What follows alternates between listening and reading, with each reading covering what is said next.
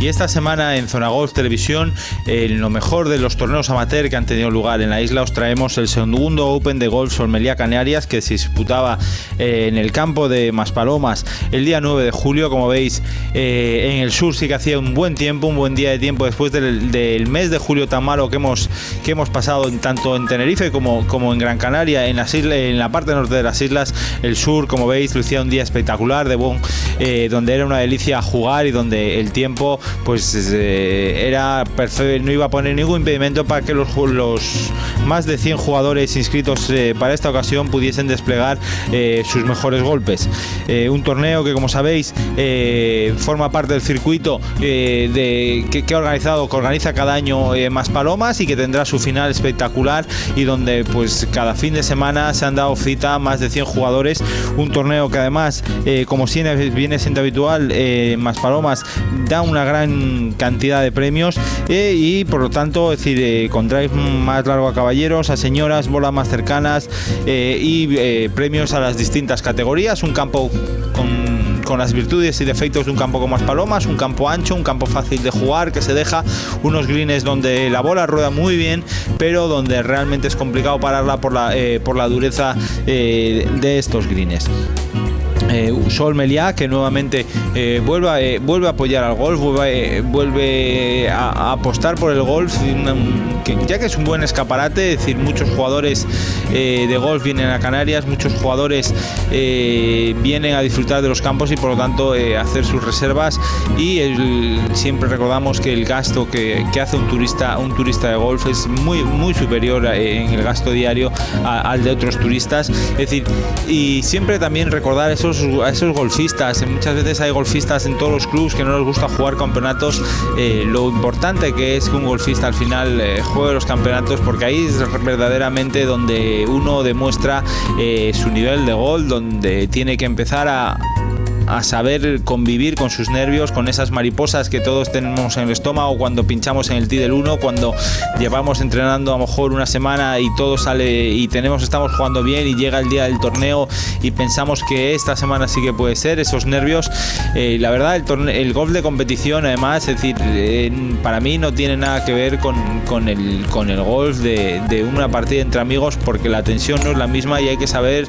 eh, lidiar con, con, esa tensión, ¿no? Es decir, y además parte que es la única manera de, realmente saber cuál es el hándicap de, una persona. Es decir, yo muchas veces lo he discutido con amigos o con gente que juega y dicen, eh, no, mi hándicap es 28, pero realmente con, juego, juego 20. Es decir, realmente el hándicap es el que es y, luego esos handicaps muchas veces de esas personas cuando, cuando les toca jugar con un torneo, pues al final su handicap sigue siendo 28. Como veis, más palomas, es decir, eh, el estado de los bunkers, eh, greens, eh, la hierba perfectamente, es decir, es un campo que realmente para el tráfico normalmente tiene, se conserva en muy buenas, en muy buenas condiciones, además mm, torneo, un campo, perdón, donde eh, es muy fácil hacerlo andando, es un campo sin, sin cuestas, eh, todo llano, muy muy cómodo para andar, además el, transfer entre, entre hoyos suele ser muy cercano. Y es un campo pues que a, muchos canarios es decir, les encanta, es decir, les encanta jugar ahí, es su campo favorito, yo particularmente tengo otros que me gustan más dentro de Canarias, como puede ser Anfitauro, un campo más exigente con unos greens mucho más rápidos. Pero ya sabemos que yo siempre digo que en el campo, eh, eh, eh, el campo de los campos de gol no son ni buenos ni malos, sino que le tienen que gustar al jugador, que se tienen, le tienen que exigir a un determinado jugador determinado tipo de determinado determinados golpes, determinada estrategia y hay, y, hay gente luego que decir un campo que penalice tanto como puede ser con los barrancos de Anfe, con los barrancos de Salobre Golf o campos donde los donde los los fallos no perdonan, pues no les gusta, ¿no? Y Más Palomas es un campo eh, donde se puede fallar, se puede fallar bien y además eh, seguir teniendo opciones muy muy claras de llegar a green en regulación, de hacer dos pases y salir con el par. Es decir, por lo tanto, eh, para gustos, para gustos se pintan, se pintan colores, ¿no? Solmelía, aquí vemos el, día espectacular que hacía, es decir, para los canarios que este mes de julio que vivimos en, en Las Palmas o alrededor de Las Palmas que no habíamos visto el sol,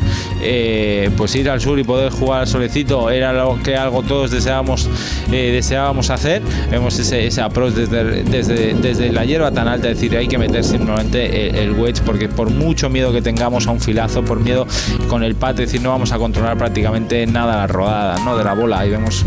eh, los pads y, probablemente en, uno de estos programas salga la pin patter up que, que he revisado para, para, para hacer el programa y es una herramienta que nos va a poder servir muy mucho para poder mejorar eh, nuestra calidad de pads, es decir, te va a medir, te va a medir eh, la consistencia de nuestro pad y al final eh, los pads, es decir, en el, en el green con, con, el pattern en la mano es donde se van a decidir los torneos, donde nos vamos a dejar muchos, muchos puntos y es quizás, pues eso, en los 10 metros alrededor de green y en el, y en el green donde los jugadores de handicap bajo pues marcan, marcan o marcamos la diferencia, donde recuperamos muchos, muchos golpes, donde no los dejamos prácticamente, bueno, nos dejamos, perdemos muy, muy pocos golpes a, eh, a, lo tonto, es decir, no solo es la potencia, no solo es eh, la, fuerza que a lo mejor o la distancia que podemos conseguir con los palos, sino es eh, los approach, sino es, decir, eh, los pads que hay que meter se meten y eso muchas veces, eh, pues evidentemente aplicaciones como la Pink Patter Up, es decir, ayudan mucho a entrenar, a, entrenar, a decir, a que esas, a que esas sensaciones que nosotros tenemos cuando vamos al al patting green no sean solo sensaciones sino objetivas, es decir, tú que, el, que, el, que, la aplicación te dé pues la consistencia de tu swing, que tu cara siempre llega abierta o siempre llega cerrada. Recordemos que no se trata, no se trata de hacer un swing perfecto, siempre la, la cara llegue perfectamente cuadrada, sino justo decir, sino que siempre o que, que, así siempre llegue con los mismos ángulos. Si un golpe es repetitivo, ya sea bonito, ya sea feo, sea ortodoxo o poco ortodoxo, si el palo siempre llega igual, es decir, al final vamos a ser muy consistentes con ese golpe y es lo que nos va a permitir mejorar. Es decir, eh, a nadie, yo creo que ningún profesor, eh, ningún profesor le enseñaría a Jim Furyk su swing o a Uba Watson, pero el problema o, el gran beneficio que tienen o la gran condición que tienen esos swings es que sus palos siempre llegan, llegan igual abajo, ¿no? Llega el palo llega cuadrado, swing para arriba hace mil maravillas, mil viajes completamente diferentes a lo que cualquier profesor nos enseñaría, pero a la hora de bajar el palo siempre, eh, siempre llega cuadrado, ¿no? Aquí vemos esos pads, decir, esos pads, no sé lo que va a hacer el jugador, pero estos son, los pads que sí o sí hay que meter si uno quiere bajar de handicap, si uno quiere defender su handicap y si uno quiere pues ir mejorando, ¿no? Ahí vemos aquí el jugador lo mete, esos, esos pads, esa distancia son cruciales, son los que van al final definir eh, una vuelta, los que van a, los que nos pueden salvar de, eh, para pa cumplir handicap o no y sobre todo para bajar, ¿no? Yo creo que al final eh, a, la mayoría de golfistas nos gusta, nos gusta defender nuestro handicap, nos gusta que este sea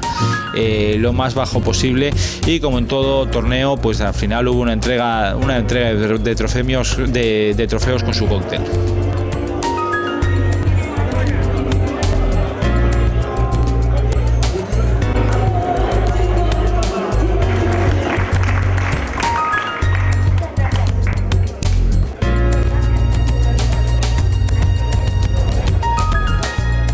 Verdad es que al final estuvo muy bien con 112 jugadores, máximo que daba el campo para un torneo a tiro. Y la verdad es que estamos muy contentos. El patrocinio de, de Sol Meliá, la verdad que genial, a todos los detalles, tanto el hoyo 9 como el welcome pack que entregaron en la, en la salida con un polo Adidas y una gorrita. Y nada, los jugadores parece que muy contentos y la entrega de premios, pues, pues la verdad es que muy completa. Bueno,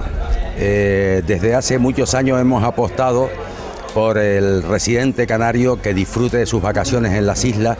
eh, con un coste mm, relativamente eh, aceptable o asequible a todos los bolsillos. Eso eh, te digo, desde hace más de 20 años fuimos los pioneros en fomentar el turismo interisla.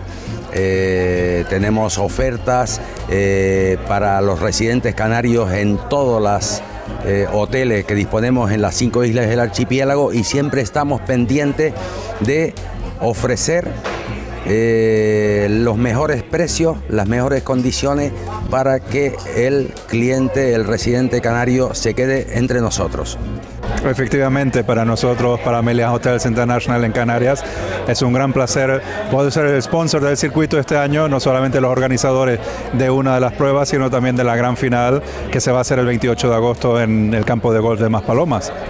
Sí, sobre todo veo que la gente se lo está pasando muy bien en nuestro torneo, que agradece los detalles que tenemos con ellos. Y bueno, y esa es la única razón que tenemos realmente de estar en estos torneos que la gente se lo pase ver, bien y, que obviamente disfruten con lo que podemos ofrecerles. Tenemos muchísimos complejos de golf asociados a nuestros hoteles, tenemos algunos hoteles en campos magníficos, por ejemplo en Meliao Golf y Catalán al lado del PGA de Cataluña, en Dominicana tenemos también unos complejos preciosos al lado de, de Perro, etcétera, etcétera, de todos estos campos tan famosos que tenemos. Y tenemos algunos proyectos en ciernes que veremos en, en pocos años también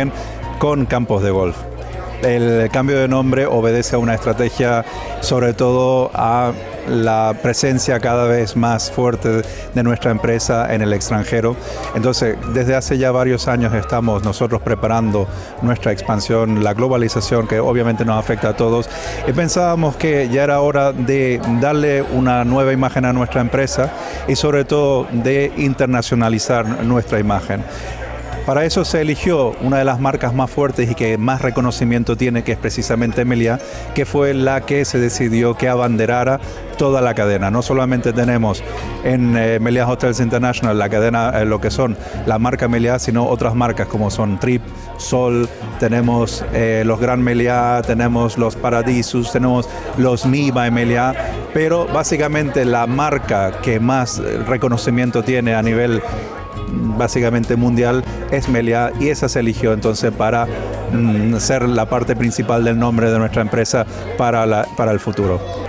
Bueno, soy Alexander Blum, director gerente del Hotel Meliá Tamarindos y les invito a todos, a todos los canarios, a todos los residentes locales, a que visiten nuestros hoteles y en especial el Meliá Tamarindos en el sur de Gran Canaria y todos los magníficos hoteles que les ofrecemos en todas nuestras islas. Gracias y bienvenidos.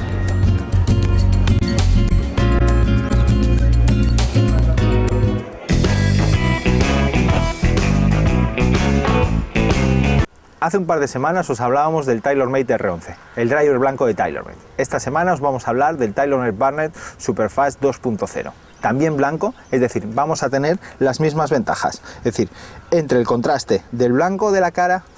y el negro. Eso nos va a ayudar, como ya decíamos en el R con el R11, a la alineación, es decir, nos vamos a colocar mejor al palo. Cuanto mejor sea nuestra colocación, mejor será la calidad de nuestro impacto.